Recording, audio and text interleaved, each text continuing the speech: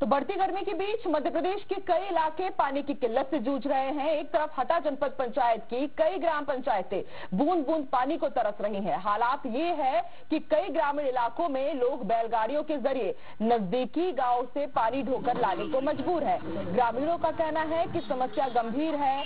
गाँव के हैंडपंप बंद पड़े हुए हैं, मजबूरन सभी परिवार के सदस्य पानी के लिए भटकते रहते हैं और दिन भर पानी ढूँढने में ही निकल जाता है। तो वहीं दमोह शहर के करीब आधा दर्जन इलाकों में लोग सुबह से नगर निगम के नल के सामने बर्तन लेकर पानी के इंतज़ार में बैठे रहते हैं। और ये हाल तब है जब यहाँ करोड़ों की तीन तीन परियोजनाएँ संचालित हो रही है। इस बारे में जब दमोह शहर के पानी सप्लाई यंत्र, यानी कि फ़िल्टर प्लांट पर जाकर हालात को जानने की कोशिश की गई तो वहाँ के प्रभारी ने दावा किया कि रोज एक टैंकर से पानी भेजा जाता है। लेकिन सवाल ये है कि जब लोगों की संख्या हज़ारों में है तो फिर एक टैंकर से क्या होगा? सीएमओ बीएल सिंह तो एक कदम और आगे रहे उन्होंने ये दावा कर दिया कि पर्याप्त पानी पहुँचाया जा रहा है।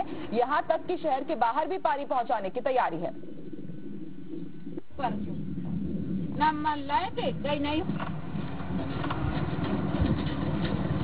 तो भीषण गर्मी के बीच मध्य प्रदेश के गाँव में तस्वीरें कैसी नज़र आ रही हैं, उसकी बानगी हम आपको दिखा रहे हैं। गाँव हो या शहर, पानी के लिए लोग जूझ रहे हैं, गर्मी में नल सूख गए हैं, हैंडपंप सूख गए हटा की तस्वीरें हम आपको दिखा रहे हैं। आप देखिए किस तरह से बैलगाड़ी से पानी ढोने के लिए लोग मजबूर है।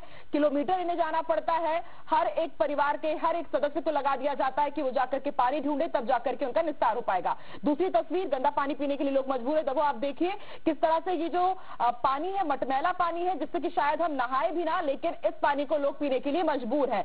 दमों की तस्वीर आप देखिए, नल यहाँ पर खाली है सुबह से। जैसे ही शुरुआत होती है सुबह की, लोग अपने घरों से निकल जाते हैं। निगम के जो, आप देखिए किस तरह से यहाँ पर लाइन से यहाँ पर कनेक्टर लगे हुए हैं और लोगों को एक एक बूंद के लिए तरसना पड़ रहा है। और उसके बाद भी जो निगम के अधिकारी हैं, जो वहाँ के क्षेत्र अधिकारी, उनका कहना है कि एक टैंकर से पानी यहाँ पर पहुँचा दिया जाता है। लेकिन सवाल ये है कि जब यहाँ पर हज़ारों की तादाद में लोग रहते हैं तो एक टैंकर पानी कितना उनके लिए पर्याप्त हो पाता होगा। और इसके साथ ही दूसरे अधिकारी तो कह रहे हैं कि दूसरे शहर में भी वो पानी पहुँचा रहे हैं। लेकिन ये दो तस्वीरें असलियत दिखाती है कि किस तरह से मध्य प्रदेश में भीषण गर्मी के बीच लोग पानी के लिए परेशान हो रहे हैं। जल संकट यहाँ पर बना हुआ है।